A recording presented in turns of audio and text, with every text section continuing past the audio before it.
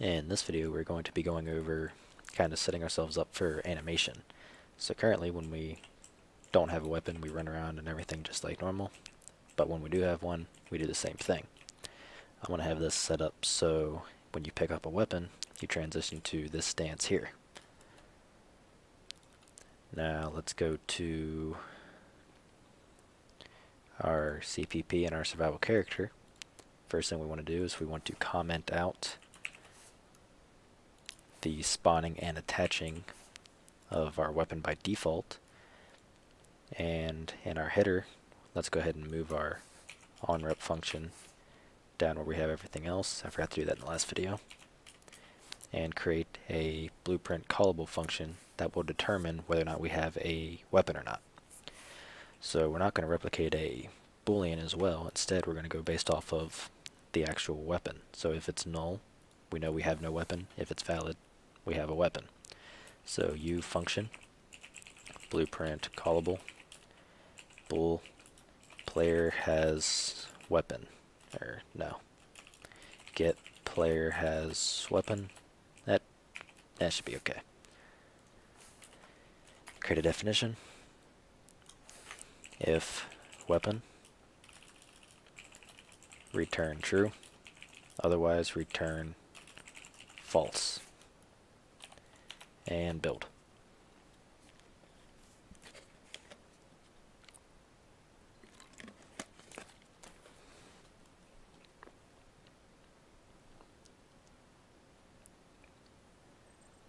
Alrighty.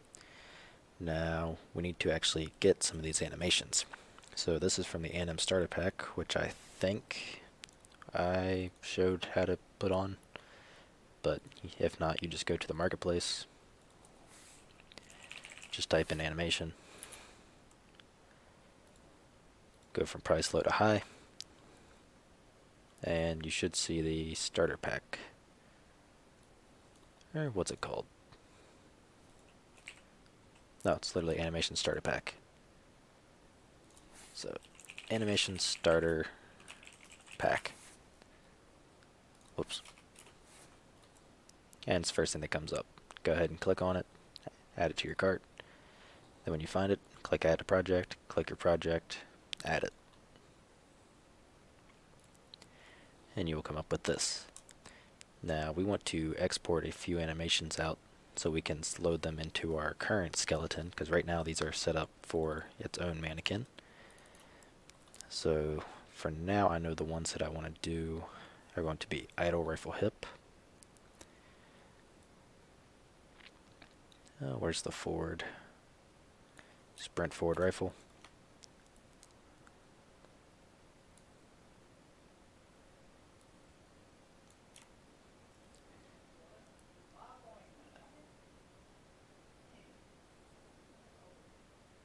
I know there's a few more, I'm just having a hard time reading it.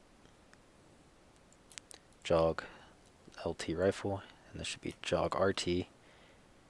And I think that's it for now. So idle rifle hip, jog LT, jog right T, and sprint forward. Actually, there should be a backwards. Eh, doesn't matter. So we're going to right click on them, go to Asset Actions, Export, and just save it. Uh, this I think is checked by normal. Go ahead and uncheck it, there's no point. Everything else should be default. Click export. Do the exact same thing. For the rest. Now let's go over here to our mannequin folder. Animation. I want to make a new folder. Call this one weapons. Right click, import, and select all the ones that you just exported. And for the skeleton, oops, type man and make sure you get the right path. So this one's game just forward slash mannequin forward slash character, which is correct. That's ours. Click it. Everything else should be the same. And import all.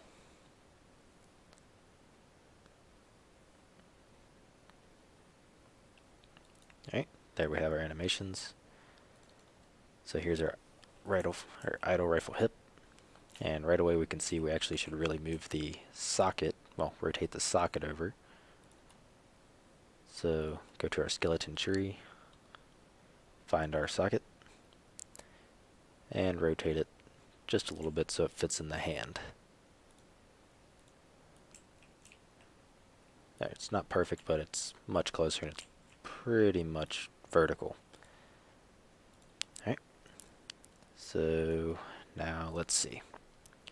We need a way to kind of blend these animations, so we can do that by right-clicking, go to the animation, and blend space. The skeleton is going to be our mannequin. Make sure it's the right one again.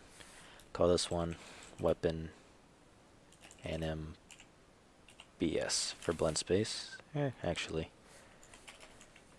Whoops. BS underscore weapon animation. Open it up.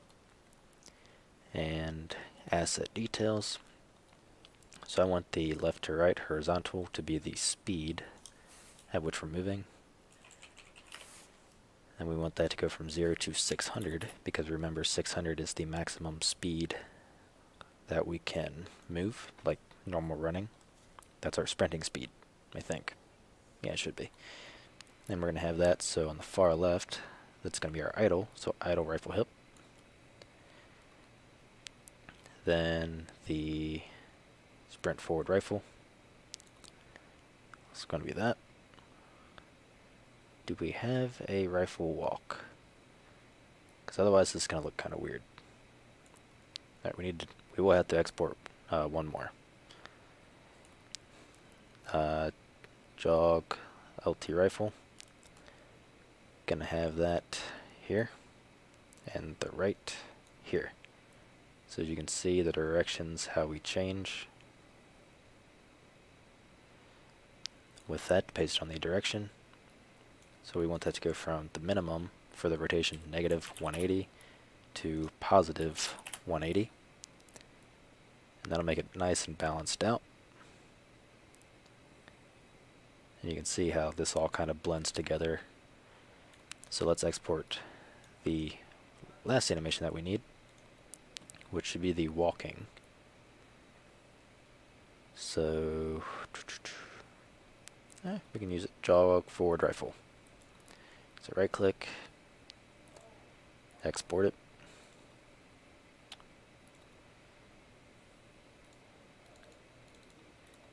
and import it.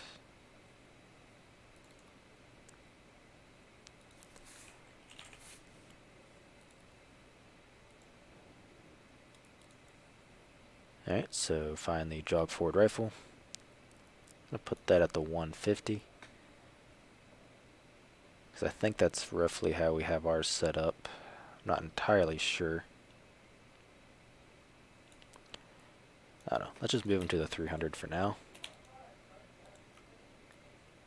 And I guess I can't select multiple.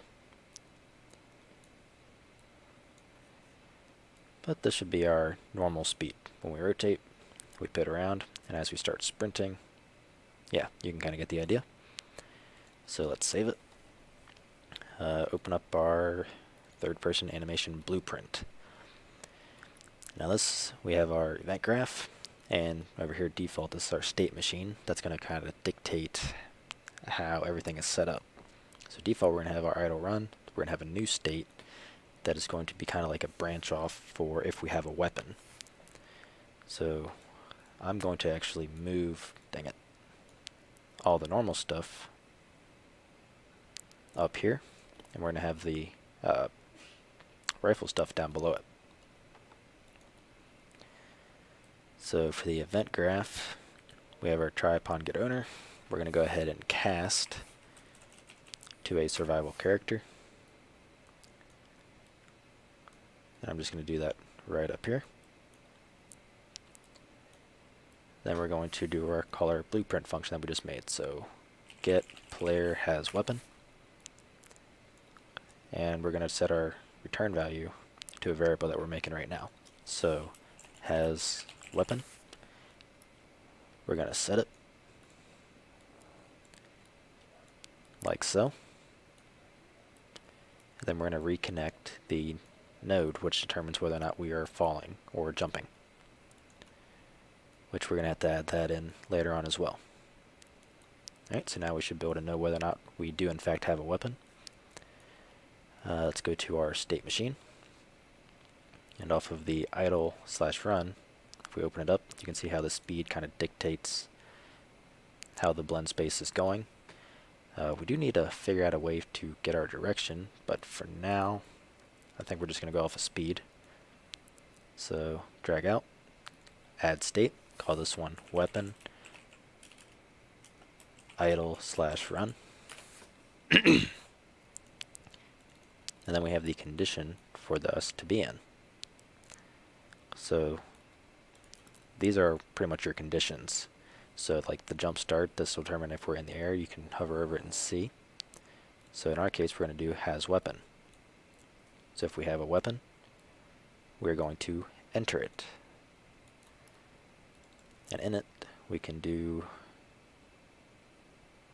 blend space weapon animation, pass it in. First things first, we're going to get our speed, and we're going to handle direction later on. But compile save, and this should allow us to have our blend space when we pick up a weapon. Press E, pick it up. As you can see, it transitioned. We have our moving. As you can see, the turning and stuff's a little wonky, but it's not bad. We sprint, start sprinting. Eh, we do have some things that we need to work on, but overall you can see how it's working.